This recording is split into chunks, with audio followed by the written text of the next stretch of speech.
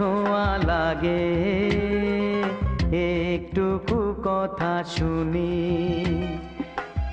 একটুকু ছোঁয়া লাগে।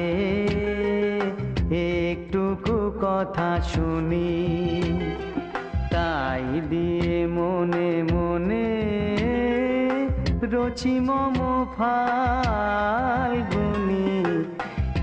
একটুকু ছোঁয়া লাগে একটুকু কথা শুনি।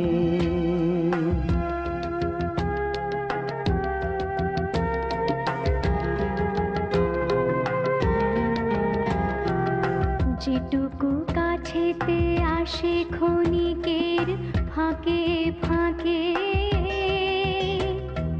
চকিত মনের কোণে স্বপ্নের ছবি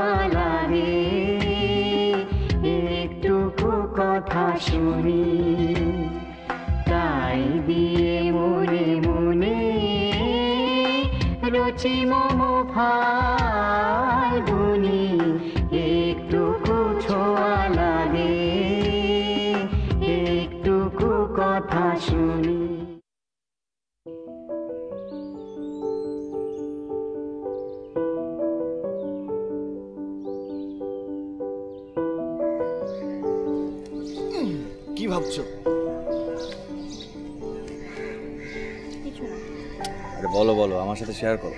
শেয়ার করলে ভালো লাগবে। আচ্ছা আমাদের পরিচয় কত বছরের? পরিচয় চার চার চার বছর। চার বছর মানে? চার বছর মানে চার বছর।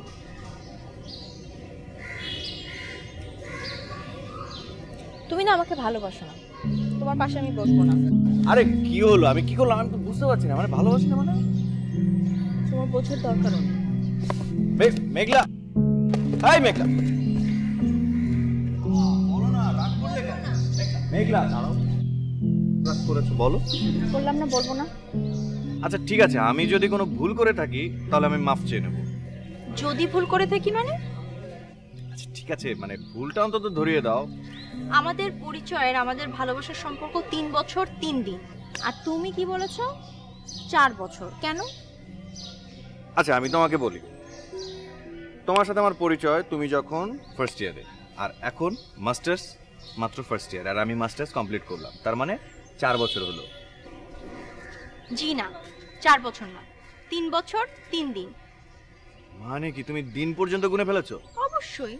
আমার সব কিছু মনে থাকে। কারণ আমার ভালোবাসা আকাশের চাঁদের আলোর মতো ঝলমল করে। আমার ভালোবাসা নির্মল নীল আকাশের মতো স্বচ্ছ।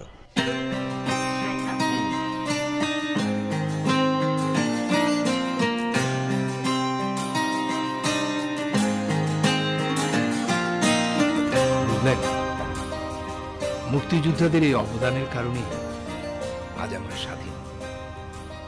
আজ আমরা স্বাধীনভাবে চলাফেরা করতে পারছি, ব্যবসা করতে পারছি, মত প্রকাশ করতে পারছি।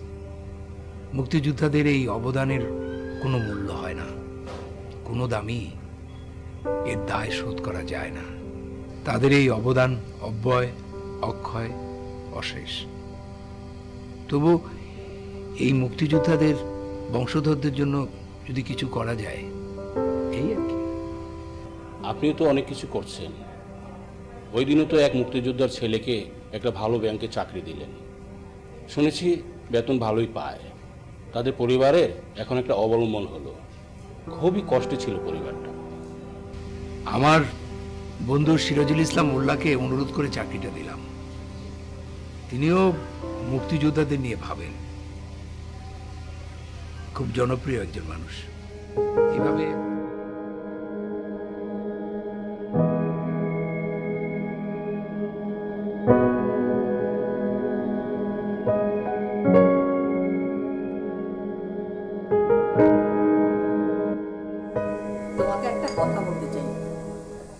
হবে হুম। শোনার জন্য অবশ্যই মনোযোগ দিতে পারব কিন্তু যদি মন খারাপ হয়ে যায় তাহলে আমি তোমার কথা মনোযোগ দিতে পারব না। আমার কথা শুনলে তোমার মন খারাপ হয়ে যায়? তোমার কথা শুনে আমার মন খারাপ হয়ে যায় কারণ তোমার তোমাকে খুশি করার জন্য খুশি করে বলার জন্য আমাকে অনেক মিথ্যা কথা বলতে আর মিথ্যা কথা বললেই আমার মনটা খারাপ হয়ে যায়। মানে? অনেক কিছু আমি এখন বাগড়খানে গেছি প্লিজ এখন মন খারাপ করার কথা বলতে বলো না। তোমার না সবসময় হেয়ালি পর আমার ভালো লাগে না।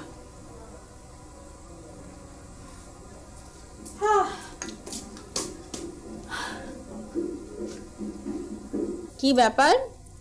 মায়ের মুখ গোমরা কেন? এনি প্রবলেম তা মামুনি তোমার হঠাৎ করেই এই প্রবলেম বিষয়টা মাথায় আসলো কেন? না মনে হলো। মানে ড্রয়িং রুম তো এরকম চুপচাপ বসে থাকার জায়গা না তাই না?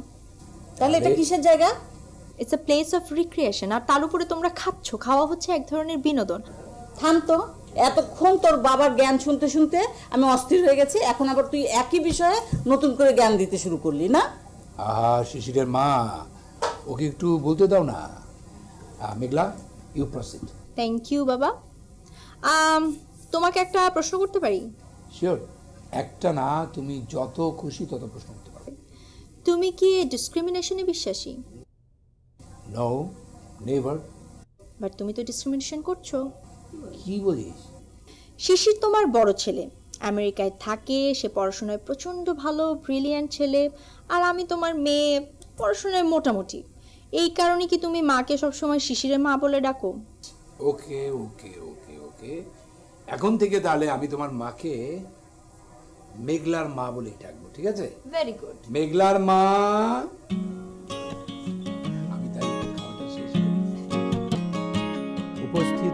সুধীবৃন্দ আসসালামু আলাইকুম।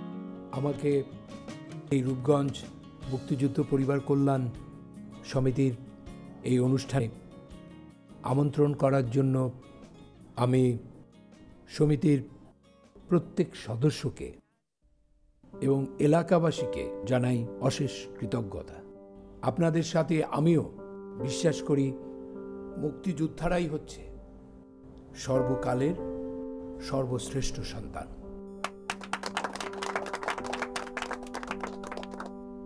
আজ এই মুক্তিযোদ্ধাদের কারণেই আমরা স্বাধীনতার সুফল ভোগ করছি। শুধু মুক্তিযোদ্ধা নয়, এই মুক্তিযোদ্ধাদের যে পরবর্তী প্রজন্ম, তারাও আমাদের কাছে সর্বকালের সর্বশ্রেষ্ঠ সন্তান হিসেবে বিবেচিত হবে।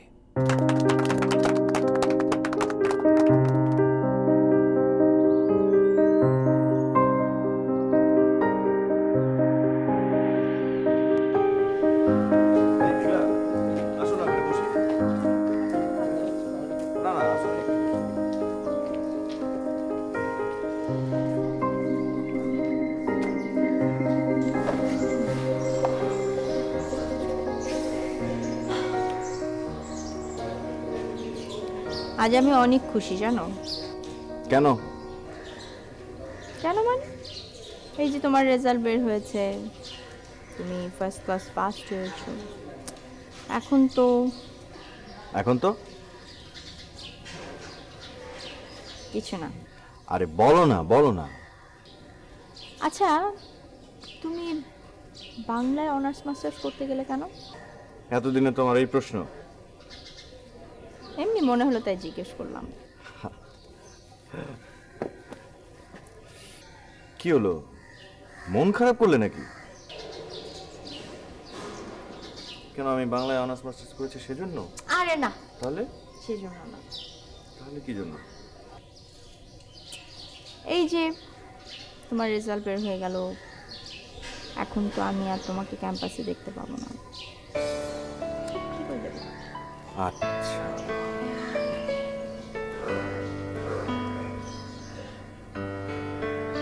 আসো আমার সাথে। কোথায়? আসো না। এখনই বললাম। গ্রামের অঞ্চলে রূপগঞ্জ থানার যে মুড়াপাড়া কলেজটা আছে না ওখানে নাকি? বাংলার প্রভাষক হিসেবে সামনের সপ্তাহ থেকে জয়েন করছে। সত্যি? কংগ্রাচুলেশনস থ্যাংক ইউ আমি অনেক খুশি হচ্ছি অনেক। এই তুমি এরকম একটা খুশির খবর এত পরে দিলে কেন? আশ্চর্য। আজকে তুমি আমাকে না আমি তোমাকে ট্রিট দেবো। কেন? আমি তো তোমাকে ট্রিট দেবো। কেন? আমি দিলে কি হয়? না কিছু হয় না। আচ্ছা ঠিক আছে তুমি দাও। তাহলে ফাইনাল আজকে রাতে আমি তোমাকে পিক করব তারপরে আমরা একটা ফাইভ স্টার হোটেলে যাব খেতে ঠিক আছে? কারণ দুই দুইটা খুশির খবর দিয়েছ। ফাইভ স্টারই তো ট্রিট দিতে হবে তাই না? শোনো ট্রিট দিতে চাইলে যে কোনো জায়গাতেই ট্রিট দেওয়া যায়। আর আমি তো অল্পতেই খুশি তুমি জানো। আচ্ছা ঠিক আছে। ফাইভ স্টার বাদ। তাহলে ফুচকা। এক প্লেট তোমার পক্ষ থেকে এক প্লেট আমার পক্ষ থেকে। ভালো আইডিয়া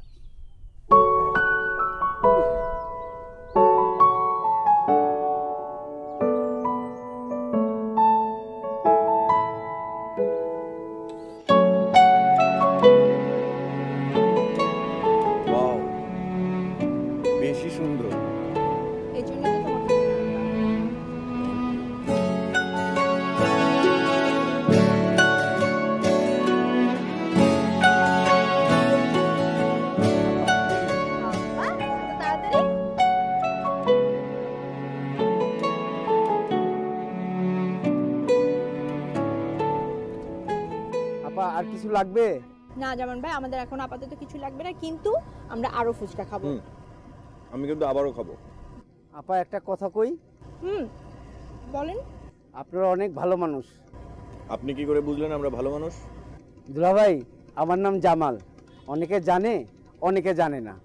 আমি তিন বছর ধরে ব্যবসা করতেছি। আমার অনেক বান্দা কাস্টমার আছে। সবাই আমার তুই তুই করে কথা কয়। ভালো নামটারও ব্যাখ্যা করে ডাকে। বাকাতারা মানে? আর আমার জামাইলা করে ডাকে। কন্ত আপা আমার নাম কি জামাইলা? আপনি কি সুন্দর করে ডাকেন? মায়া লাগে। আমরা ফুচকা বেশি দেখা মায়া মমতার দরকার নাই। আছে দরকার আছে। পৃথিবীর সব প্রাণীরই মায়া মমতার দরকার আছে। আর জামাল ভাই আপনি কিন্তু অনেক সুন্দর করে কথা বলেন। আমাদেরও অনেক ভালো লাগে। হুম। আমারও আপনাকে ভালো লাগছে। তিন বছরে এই প্রথম একজোড়া ভালো মানুষ পাইলাম। থ্যাংক ইউ ওয়েলকাম স্যার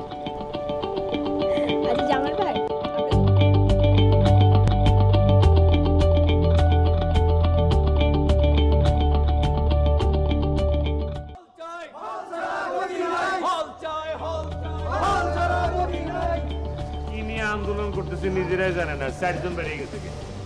আচ্ছা ইমরান ভাই খুব শীঘ্রই আমাদের একজন বাংলা প্রবাসক জয়েন করছে। আপনি শুনেছেন কিছু? শুনছি রে ভাই। কিন্তু সেই অনুযায়ী আপনার তো কোনো উৎসাহই নাই। শোনো তোমার একটা কথা বলি। তোমাদেরও সবাই বলতেছি উৎসাহ থাকা ভালো কিন্তু এই উৎসাহটা আবার বেশি থাকা ভালো না। ইমরান ভাই আরও কিন্তু খবর আছে। কি খবর বলো? নতুন স্যার যিনি আসছেন তিনি নাকি অনেক সুদর্শন এবং স্মার্ট আমি যতটুকু শুনেছি স্যারের বয়স নাকি আপনার থেকেও কম হবে। বিষয়টা খুবই সারপ্রাইজিং তাহলে এক কাজ করো না।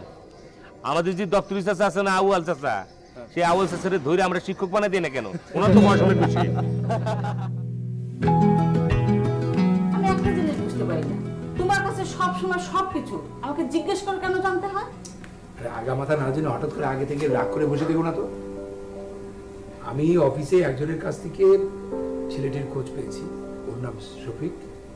ইংল্যান্ডের ইংল্যান্ড থেকে ব্যারিস্টার পড়ে এসছে আর বার কাউন্সিলের সনদের জন্য পরীক্ষা দিচ্ছে। একটা বড় ব্যারিস্টারের সাথে মানে একটা চেম্বারে সংযুক্ত আছে। ওর দাদা ঢাকা বিশ্ববিদ্যালয়ের একজন শিক্ষক। চোদ্দই ডিসেম্বরে ও বুদ্ধিজীবীদের সাথে ওনাকে হত্যা করা হয়। সেটাকে তুমি দেখেছ? হ্যাঁ দেখেছি। আমাদের অফিসে এসেছিল ওই কোম্পানির একটা ম্যাটার নিয়ে ডিল করতে। কোম্পানি আইনে তুখোর মেধার একটা ছেলে। ভালো। তবে আমার কি মনে হয় জানো? এ ব্যাপারে মেয়েটার মতামত নেওয়া দরকার। এতে মেয়ের মতামত? এই যে মামনি তোমার কথাই হচ্ছিল। কি কথা হচ্ছিল আমার? মানে সামনের মাসে তো তোমার জন্মদিন। তো এবার জন্মদিনটা অনেক বড় করে করতে হবে। সেটা তো সব সময় করো। না আরও বড় করে করব। না। এবারে আমার জন্মদিনের দায়িত্ব আমি নিলাম। মানে? হ্যাঁ আমার উপর এইটুকুন ভরসা নেই। এবারে আমার জন্মদিন হবে ঘরোয়া পরিবেশে ছোট করে। কেন?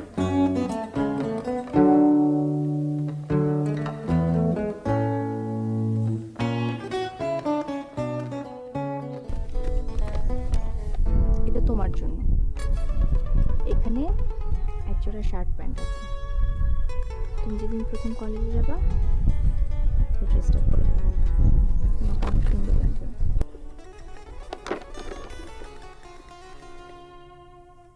বাহ। আচ্ছা ঠিক আছে আমি তোমার দেয়া পোশাক পরেই সেদিন ক্লাসে যাব। থ্যাংক ইউ তোমাকে থ্যাংক ইউ ওয়েলকাম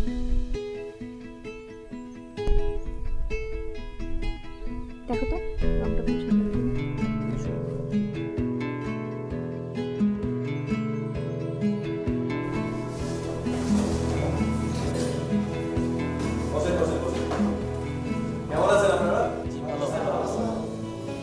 ভালো আছেন? আচ্ছা, আমি আপনাদের নতুন শিক্ষক। আমার নাম আপনাদেরকে পড়াবো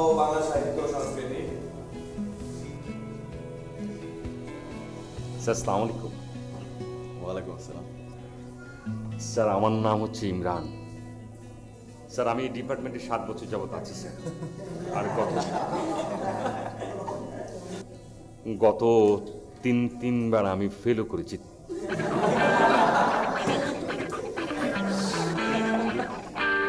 স্যার আমি যেটা বলতে চাচ্ছিলাম আর কি স্যার আমার একটা উইক পয়েন্ট হচ্ছে যে আমি আর পরীক্ষাটা দিতে চাচ্ছি না।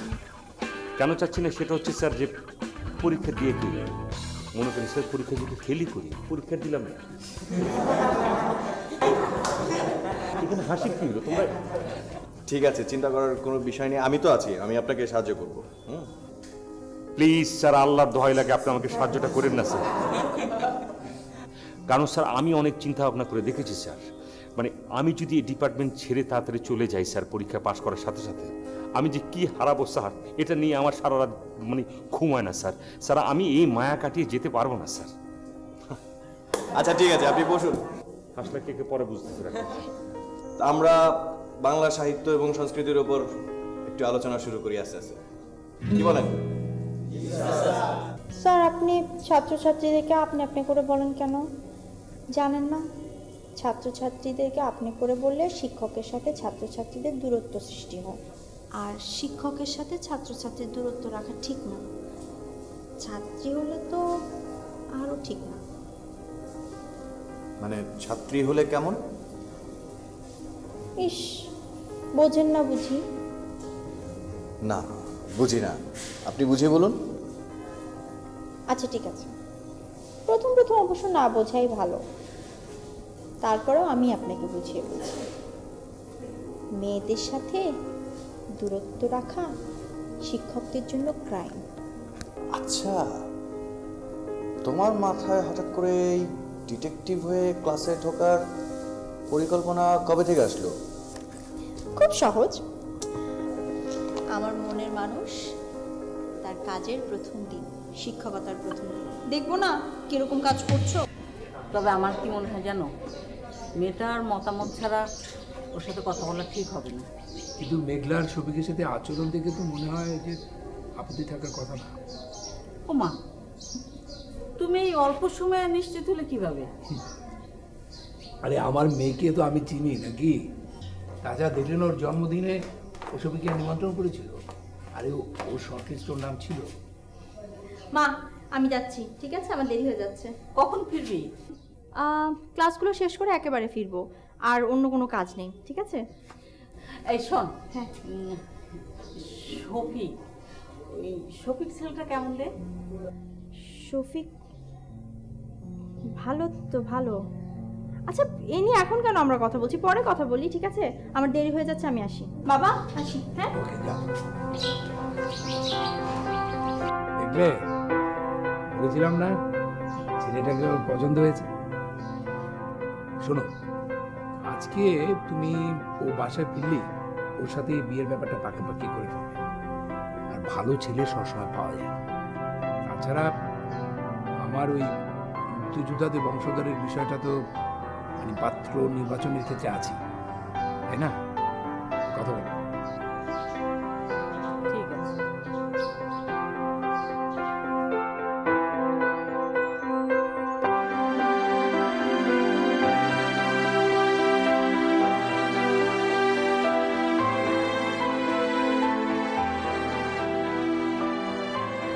আপনি হ্যাঁ ইমরান ভাই আপনাদের স্যারের ক্লাস কি শেষ হয়ে গেছে? শেষ হয়েছে মনে হয়। আমি তো একটু আগে বের হলাম। আপনি চলেন না? আমার সাথে অফিসে চলেন। না আমি যাব না। আপনি একটু আপনার স্যারকে ডেকে দিতে পারবেন? আমি এক্ষুনি ডেকে আনছি। আপা কোনো সমস্যা? না না কোনো সমস্যা নেই। একটু ডেকে দেন না প্লিজ। আপনি থাকেন আমি নিয়ে আসছি।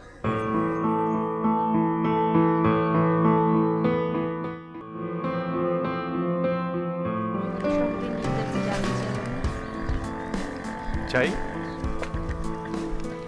আমাদের বাসায় তোমার আমার বিয়ের প্রস্তাব পাঠাতে হবে পাঠাবো? অরণ্য দেখো আমি তোমাকে চাপ দিতাম না। বাসায় আমার বিয়ের কথা চলছে। বাবার বন্ধুর ছেলে ব্যারিস্টার শফিক তার সাথে। এখন তুমি তো জানোই মানে বাবার মাথাতে একটা পোকা আছে যে মুক্তিযোদ্ধার সন্তানের সাথে সে আমার বিয়ে দেবে। আর ব্যারিস্টার শফিক তার সকল শক্তি ফুলফিল করেছে। কিন্তু আমি তো আচ্ছা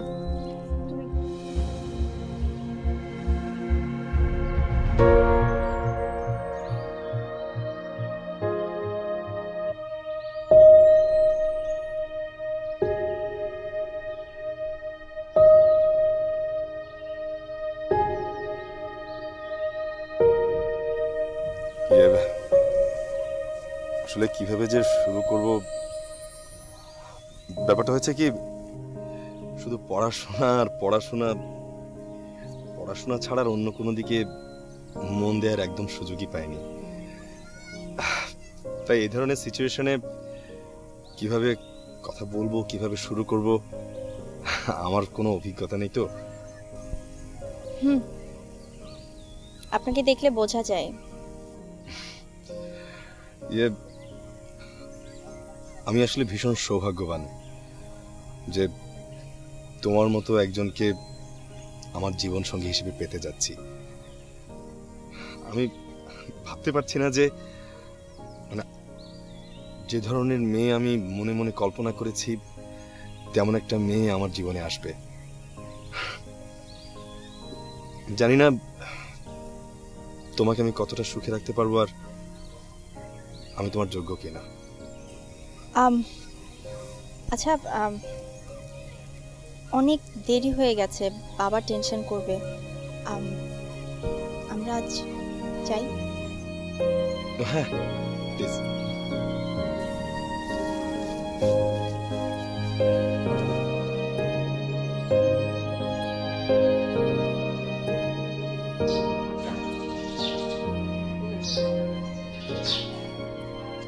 মেঘলা কোথায়? ওকে দেখছি না যে? আপু ও একটু ইউনিভার্সিটিতে গিয়েছে আজকে একটু লাইব্রেরি ওয়ার্ক আছে। মনে হয় আসতে একটু দেরি হবে। মেঘলা খুব লক্ষ্মী একটা মেয়ে। তো ভাই সাহেব আমি আজ কি জন্য এসেছি সরাসরি আপনাকে বলেই ফেলি। তবে যদি আপনি অনুমতি দেন। না না অনুমতির দরকার কেন? আপনি বলুন। হ্যাঁ বলুন না পা সংকোচ করছেন কেন? আমি অরণ্যের জন্য আপনাদের মেয়ে মেঘলাকে চাইতে এসেছি। আপনারা জানেন কি না জানি না, ওরা দুজন দুজনকে খুব ভালোবাসে।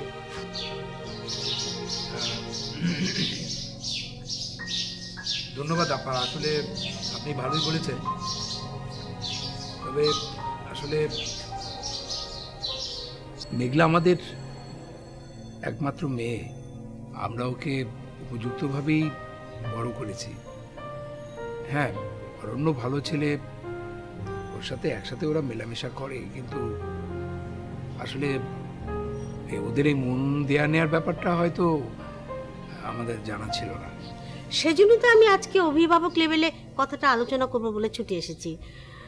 অরণ্যর বাবা একটু অসুস্থ তাই আমাকে আসতে হয়েছে। আপনারা মত দিলে উনি এসে সবটা ফাইনাল করবেন। আচ্ছা উনি কি করেন? ওনার একটা ছোটোখাটো ব্যবসা আছে। উনি একটু অসুস্থ তাই কর্মচারীরা দেখাশোনা করেন। কষ্ট করে আপনি আমাদের বাড়ি পর্যন্ত এসছেন এই জন্য আপনাকে ধন্যবাদ আপা। অরণ্য খুবই ভালো একটা ছেলে কিন্তু আপা মেঘলার বিয়ে তো প্রায় পাকাপাকি হয়ে গেছে। আমি জানি। তাই তো তাড়াহুড়ো করে আপনাদের কাছে ছুটে এসেছি। জানেন তারপরও? জি ভাই সাহেব। ওদের জীবনের দিকে তাকিয়ে সিদ্ধান্তটা পাল্টানো যায় না। না না, এটা একেবারেই সম্ভব না। অনেক খোঁজাখুঁজি অপেক্ষার পর আমি সবিককে পেয়েছি। অনেক কিছুই মিলছিল না, বিশেষ করে মুক্তিযুদ্ধের পরিবারের ছেলের সাথে আমার মেয়ের বিয়ে দেবো, এটা আমার অনেক দিনের পুরনো একটা ইচ্ছা। আচ্ছা অরণ্যের পরিবারে বা বংশে মুক্তিযোদ্ধা কেউ আছে?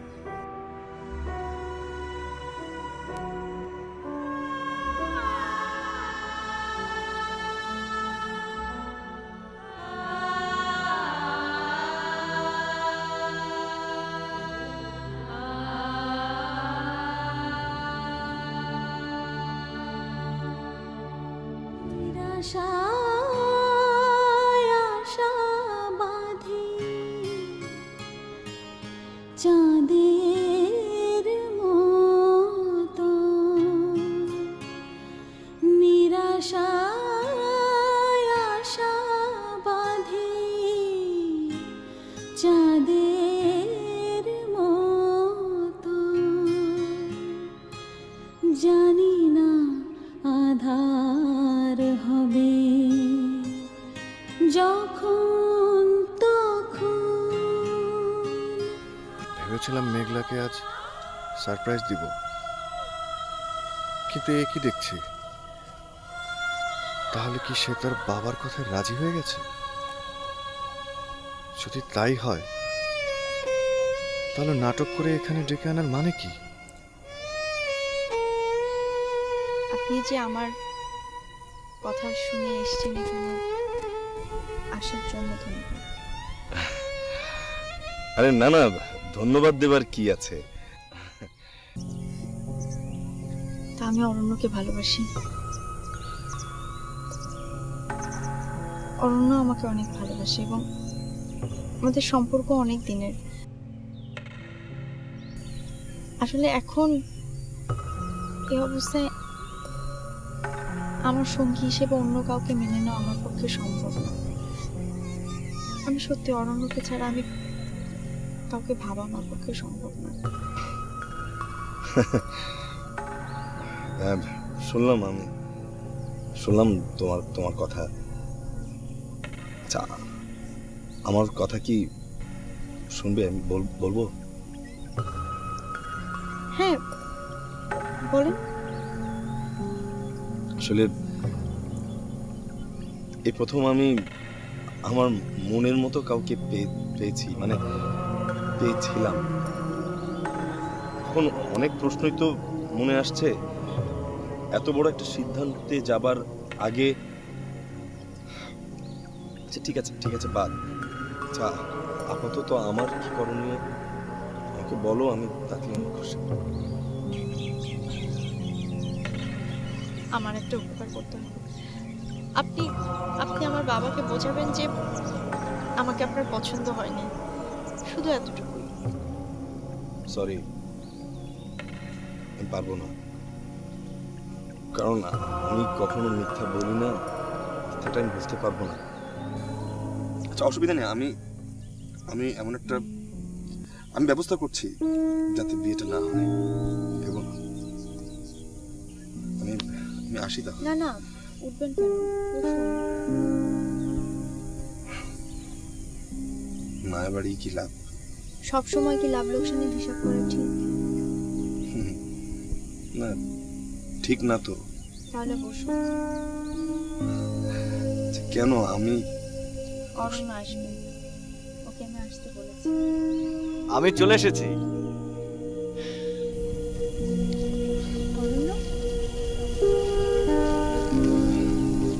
আমি তো ওদের কথা শুনেছি।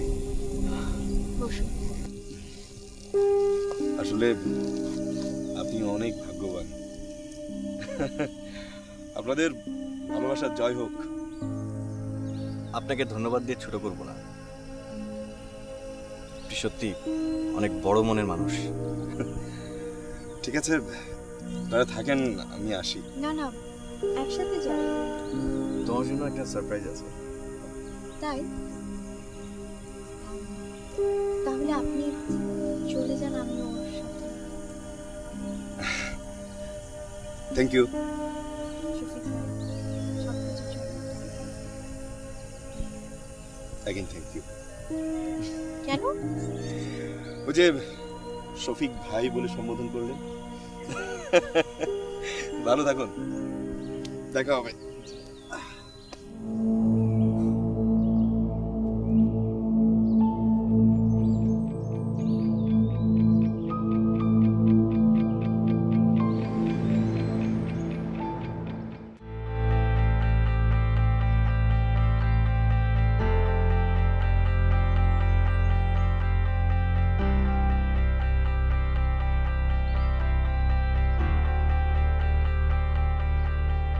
বুঝলে হেলে না মনটা স্থির করতে পারছি না। কেন? এত ভালো একটা ছেলে সেটাও হাতছাড়া হয়ে গেল। তুমি এত অস্থির হচ্ছ কেন বলো তো? আচ্ছা দেখি না আজকে যে বিয়ের প্রস্তাবটা নিয়ে আসার কথা সেটা কেমন হয়? তো ওনারা আসবেন কখন? এই তো আজ বিকেল পাঁচটায় আসার কথা। ওই তোমার মুক্তিযুদ্ধ পরিবার কল্যাণ সমিতির এক কর্মীর মাধ্যমে আমি সম্বন্ধটা পেয়েছি। আচ্ছা। ওনার নাম হচ্ছে আনোয়ার। আসলে এটাও যদি মানে বুঝতে পারছি না। তুমি অস্থির হয়ে না তো। আমি ওদিকটা দেখে ওরা আসলো কিনা। একদম অস্থির হবে না।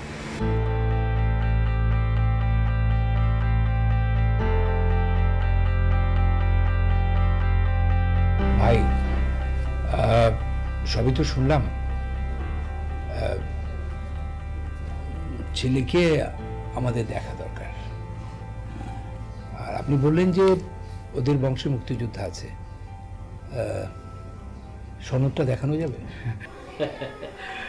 হবে হবে সবই হবে। কিছুক্ষণের মধ্যে ছেলে আর ছেলের মা চলে আসবে। আচ্ছা এই ফাঁকে আমি কি আপনার মেয়ের সঙ্গে কথা বলতে পারি?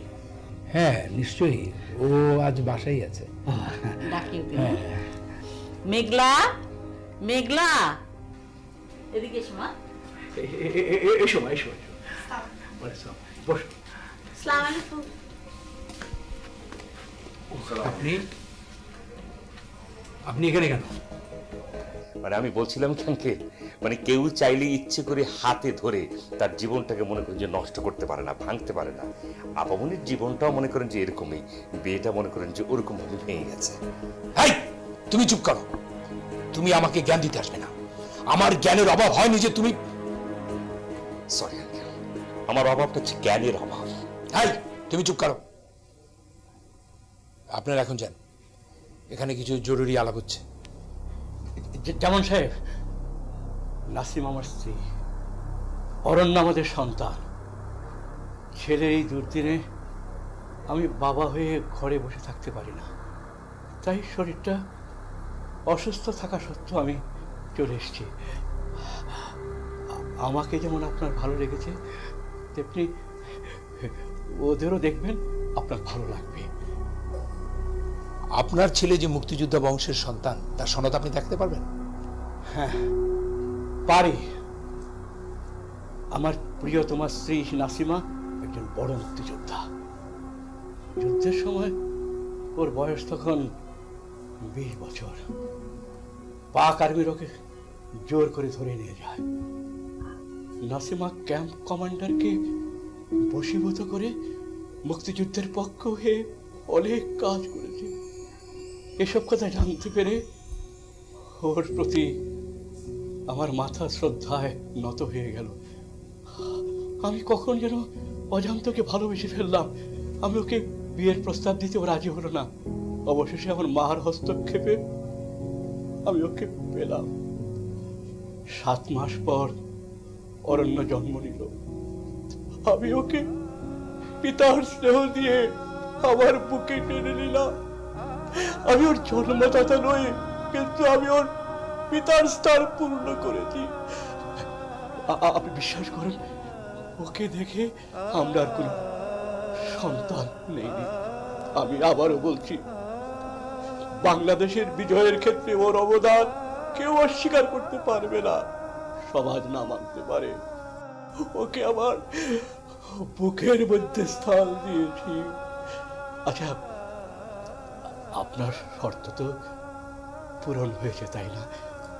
এখন আপনার কথা মতো আপনি এতে রাজি আছেন? না না না আমি পারব না। আমার মেয়েকে এরকম একটা পরিবারে পাঠাতে আমি পারব না। আপনি আপনি পারতেন সোরাব সাহেব। আরে, আমি তো পেরেছি। আমি তো নাসিমাকে নিয়ে সংসার করেছি। অরণ্যকে বুকে টেনে নিয়ে পিতৃ গর্বে আমি গর্বিত হয়েছি। আপনি পারবেন না ভাই সাহেব। না না না, আমি এত মহৎ হতে পারব না। আমার বিশ্বাস, আমার মেয়েও পারবে না। কি মেঘলা? এত কিছু জানার প্রতি অরণ্য কি মেনে নিতে পারবি? পারব বাবা এখন আরও বেশি করে পারব সৌরভ আঙ্কেলের প্রতিটা শব্দ, প্রতিটা বাক্য যে আজ আমাকে অরণ্যের ভালোবাসার অরণ্যে নয়, এক পরিশুদ্ধ অহংকারের অরণ্যে ডুবিয়ে দিল I'm proud of him. And I'm proud of them. দেশ স্বাধীন হবার এত বছর পর কাউকে আমি এত বড় বলিদান দিতে দেখি আমি আমি পারব না। এ বিয়ে হবে। এতদিন এতক্ষণ আমি অনেক কথা শুনেছি অনেক সহ্য করেছি। এখন আমি এখন আমি মেঘলার মা হিসেবে বলছি এ বিয়ে হবে। এসব কি বলছো তুমি? হ্যাঁ আমি ঠিকই বলছি। তুমি তুমি একটা আত্মপ্রবঞ্চক লোক। তুমি সারাটা জীবন মুক্তিযোদ্ধা তার পরিবারের কল্যাণের জন্য এত সভা সমিতি করে তাদের বড় বড় কথা শুনিয়ে সবাইকে জর্জরিত করেছ। আর আজ আজ নিজ বাড়িতে দাঁড়িয়ে দেশের স্বাধীনতা অর্জনে যার এত বড় অবদান, তুমি তাকে অপমান করছ? হ্যাঁ জামান ভাই, ভাবিজান ঠিকই বলেছেন। আমি একজন সহযোদ্ধা হিসাবে বলছি। নাসিমের সুযোগ পেয়েও পাক বাহিনীর ক্যাম্প থেকে পালায়ওনি আত্মহত্যাও করেনি। শুধু আপনি কেন? আমার আত্মবিশ্বাস রাষ্ট্র তার একদিন স্বীকৃতি দেবে। আপনার চোখে পানি মানায় না পা আপনার চোখে মুখে থাকবে গৌরব মাখা অহংকারের হাসি। তুমি মাথা নিচু করে আছো কেন অরণ্য? তুমি মাথা সবসময় উঁচু করে থাকবে। তুমি এখন আবেগে অন্ধ। তোমার আবেগ কেটে গেলে তুমি আমার কথায় আবার ফিরে আসবে। মোটেও না। হবে। এ বিয়ে হবে এবং আজই হবে। ইমরান তুমি যত তাড়াতাড়ি সম্ভব এ বিয়ের ব্যবস্থা করো। আপনি কেন বিয়ে পড়াতে পারবেন না কেন? আপনার ঝামেলা কি কি? আমি একজন সিনিয়র কাজী। আমি তিরিশ বছর থেকে বিয়ে পড়াই। আমার একটা পেস্টিজ আছে। হ্যাঁ আমি ওই গাছতলায় বিয়ে পড়াতে পারব না। আপনি প্রেস্টিজের ছেলে গাছতলা বিয়ে পড়াতে পারবেন না। হ্যাঁ হ্যাঁ। বিয়েটা কি আপনার হইতেছে নাকি আমার স্যারের হইতেছে?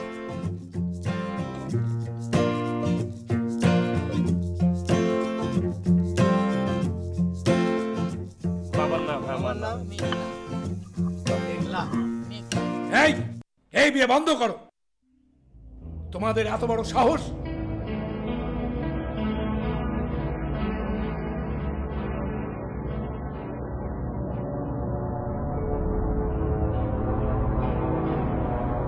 বাবা ছাড়া মেয়ে বিয়ে হয় না। তাই আমি চলে এসেছি। কাজী সাহেব, বিয়ে পড়ান। অরণ্যার মেঘলার বিয়ে এই গাছতলায় উপযুক্ত স্থান। সাহেব?